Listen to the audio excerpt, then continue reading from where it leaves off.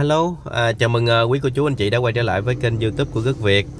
À, Thì uh, kính thưa quý vị á, à, các câu chuyện của cô Nguyễn Phương Hằng à, đến nay thì uh, được uh, sự quan tâm của rất là nhiều người ha. À, Đặc biệt là sau khi cô Nguyễn Phương Hằng mà bị bắt đó thì uh, có một bộ phận người dân đó cũng rất là đông. Người ta bày tỏ cái um, cái cảm xúc người ta về cái uh, việc mà cô Hằng bị bắt á à, thật sự mà nói đến thời điểm này thì chúng ta cũng thấy à, rất là rõ ràng giữa hai phe hai phía. À, một bên thì ủng hộ một bên thì à, người ta không biết là ganh ghét hay là cái gì đó mà họ um, cực lực phản đối bà Nguyễn Phương Hằng. Um, bất kể cái chuyện gì ngay cả những cái chuyện mà bà Nguyễn Phương Hằng đi làm từ thiện họ cũng tìm cách họ chống phá luôn. Đó, thì thôi thì cái chuyện uh, họ làm thì cái nghiệp họ gây ra họ lãnh thôi. À, nhưng mà có một cái uh, sự việc như thế này. À, mấy hôm nay á thì um, à, mình à, hay chia sẻ một cái những cái bài viết của bác Nguyễn Trọng Huân. À, thì à, à bác này à, là nguyên là phó giám đốc của Đài Tiếng nói Việt Nam VOV à, rồi à, sau đó là bác lên giám đốc luôn cả nha chứ không phải là phó giám đốc không. À, rồi sau đó bác à, nghỉ hưu. Nay thì bác nghỉ hưu cũng tầm 3 năm rồi. Đó. À, tuy nhiên á, thì ngày hôm qua à, em có nhận được một cái tin nhắn tin nhắn của một cái chị. À, chị này thì à, rất là thân và em cũng rất là nể chị này. Bởi vì à, trong hầu như mỗi cái drama đó thì chị à, đều đưa ra những cái nhận định khá là chính xác và cũng theo một cái góc nhìn khá là trung lập. À, đâu trong tất cả những cái ờ, vụ việc mà à, em tham gia và thấy chị nhận định đều rất là hay cho nên em rất là à, kính nể chị này. Và chị đã có nhắn tin à, nói rất việc ơi em xác nhận lại cái thông tin bác Huân á có phải là làm bên VOV hay không? À, bởi vì à, chị thấy có một cái kênh YouTube nói rằng à, à, ông à, ông Huân đó đó à, không phải là phó giám đốc rồi à, ông phó giám đốc đó là đã mất từ lâu gì đó. À, rất là nhiều những cái thông tin. À, chị chị đó chỉ um, muốn mình đó là hãy xác nhận lại thông tin bởi vì à, à, xưa nay chỉ à, quen xem cái kênh mình là những cái thông tin chính xác chứ không phải là những cái uh, thông tin fake. À, cho nên chị rất là lo lắng à, thật sự mà nói cả nhà ừ, trước khi mình đưa cái thông tin gì bao giờ mình cũng xác nhận à, xác nhận lại một số cái nguồn tin à, cũng như là mình à, tra hỏi. À, chẳng hạn như là tra Google chẳng hạn bởi vì người ta nói là thời thời à, kỳ 4.0 rồi mà à, con ơi nhớ lấy nghề cha gì đó. À, cái gì không biết thì tra Google. À, đơn giản quá mà đúng không cả nhà? À, cho nên à, chị mặc dù á mình cũng không có muốn bàn cãi cái chuyện này làm gì bởi vì à, thông tin mình à, nhận được á mình cảm thấy đủ sức thuyết phục cho nên muốn chia sẻ cả nhà à, bởi vì mình rất là tôn trọng à, quý cô chú anh chị khi mà xem cái thông tin. Bởi vì đôi khi nếu mà mình đưa thông tin giả đó người ta xem rồi người ta dễ hụt hẫng. Cho nên mình à, chỉ muốn đưa những cái thông tin gì chính xác và có thật thôi.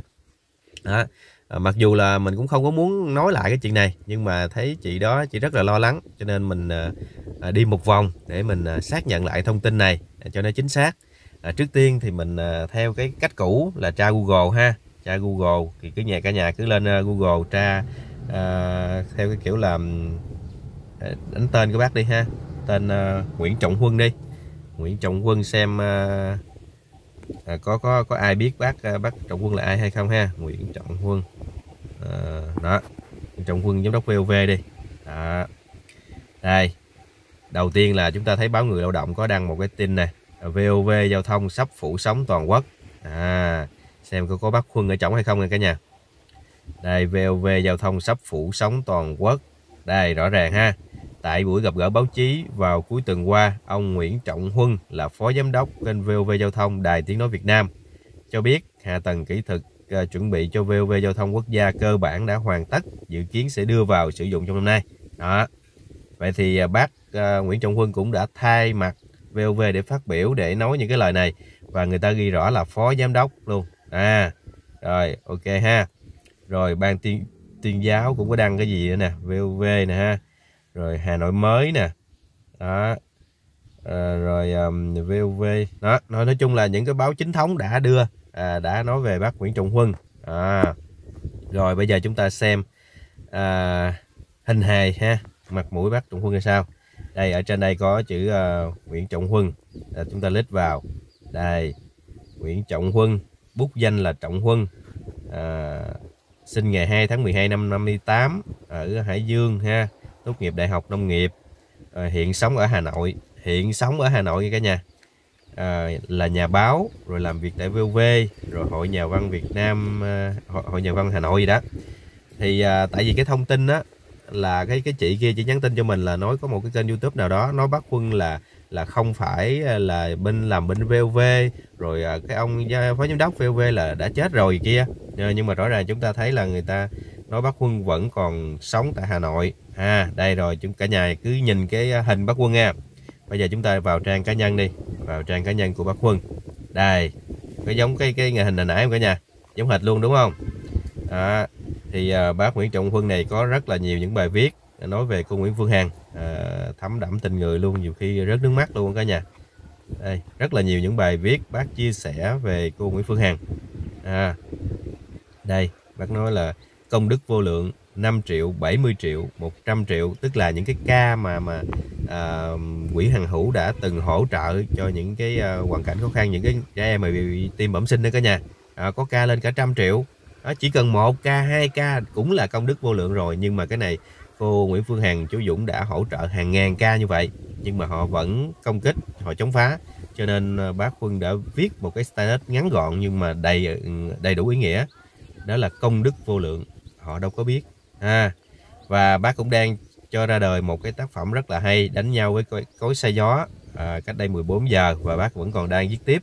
Cho nên à, chưa có chia sẻ cả nhà cũng rất là hay luôn cả nhà rồi bây giờ quay trở lại với cái vấn đề mà xác nhận à, thông tin à, thân nhân của bác à, bác Huân ha. Bởi vì à, xem từ một chuyện và chúng ta sẽ đi tìm hiểu à, cái việc mà đi tìm hiểu một cái người thì à, đưa thông tin của họ lên trên mạng xã hội thì cũng không hay. Nhưng mà để xác nhận lại thông tin thì chúng cũng ta cũng phải làm lại chuyện đó. Trước tiên á là bây giờ mình sẽ tìm hiểu một số cái người bạn của bác quân đi. À, chẳng hạn anh này đi đó, anh Đỗ Mạnh từ à, Đỗ Mạnh Trường vậy nè là đã làm việc à, làm việc tại đài tiếng nói Việt Nam kênh VOV giao thông luôn. À, tức là trước đây đã làm chung với bác à, Trọng Quân ha. Rồi mình đã nhắn tin với anh à, Trường rồi. Đó mình nhắn tin là chào chú chú ơi cho con hỏi là bác Nguyễn Trọng Quân trước đây làm phó giám đốc à, VOV phải không ạ? Rồi anh này xác nhận là đúng. À, rồi mình hỏi là bác ấy đã nghỉ hưu lâu chưa ạ? Anh nói lâu rồi à, thôi chung mình hỏi chút chút thôi ha. Rồi bây giờ mình sẽ tìm ờ, một người nữa. Đây. Đây mình à, nhắn tin cho anh này thì cũng đang làm ở VOV thì à, mình hỏi là chào anh anh làm ơn cho em hỏi chú Nguyễn Trọng Huân trước đây làm phó giám đốc VOV phải không ạ? Rồi anh xác nhận là ừ đúng rồi. À, vậy à, chú à, làm phó giám đốc rồi về hưu luôn hả anh?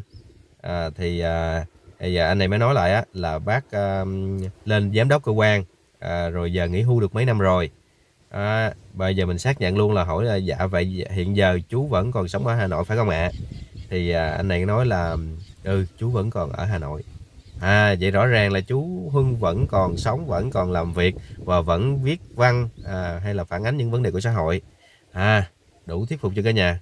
Còn nếu chưa đủ thuyết phục thì mình sẽ à, gọi lên cái tổng đài của VOV à, khu vực phía Nam để um, xác nhận lại xem có phải là bác Nguyễn Trọng Huân trước đây từng làm phó giám đốc VOV hay không. Ha cả nhà. À, chứ bây giờ um, à, làm thì phải làm cho rõ hết. À, rất là nhiều rất là nhiều cách để xác nhận thông tin của bác quân chẳng hạn như một người à, là lóc cốc lông cơm như mình đó, thì à, gõ lên Google hoặc là tìm những thông tin thì nó không có bao nhiêu à, tại vì mình không không có làm được gì cho xã hội. Chứ còn chẳng hạn như như bác quân thì làm tới chức vụ như vậy rồi làm ra một cái kênh phát triển rất là mạnh mẽ như vậy không lẽ người ta không biết đúng không? Đây thì xin mời cả nhà nghe cái đoạn ghi âm chút xíu này thôi. À, thì hiểu ha.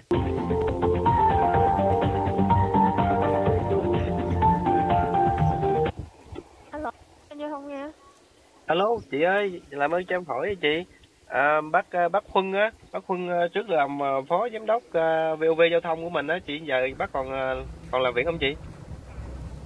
Bác... dạ bác về hưu rồi anh ơi có phải Nguyễn Trọng Huân không ạ? Dạ đúng rồi Nguyễn Trọng Huân. À bác về hưu rồi anh ơi. Bác bác về hưu hồi năm nào hả chị? Nhưng mà bác đang ở Hà Nội mình gọi Hà Nội nhưng em em là trong thành phố Hồ Chí Minh mà à vậy hả? Rồi rồi rồi rồi rồi cảm ơn. À, theo uh, theo như mình tìm hiểu á, thì uh, bao nhiêu thông tin đó thì cũng đủ xác nhận một cái uh, xác nhận thân nhân thân của một người rồi đúng không cả nhà à, thật sự á, để làm nguyên một cái video clip về cái chuyện mà xác nhận thông tin của một người á, thì thấy nó cũng thấy nó cũng bất cập đâu nhưng mà chúng ta làm gì cũng phải làm cho nó rõ ràng để thôi có những cái lời ra tiếng vào nó không hay.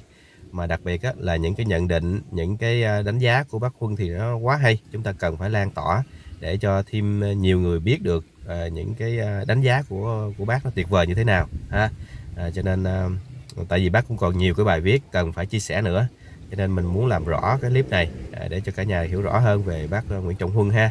Rồi xin à, chân thành cảm ơn quý cô chú anh chị đã quan tâm theo dõi ạ. Xin trân trọng kính chào và hẹn gặp lại.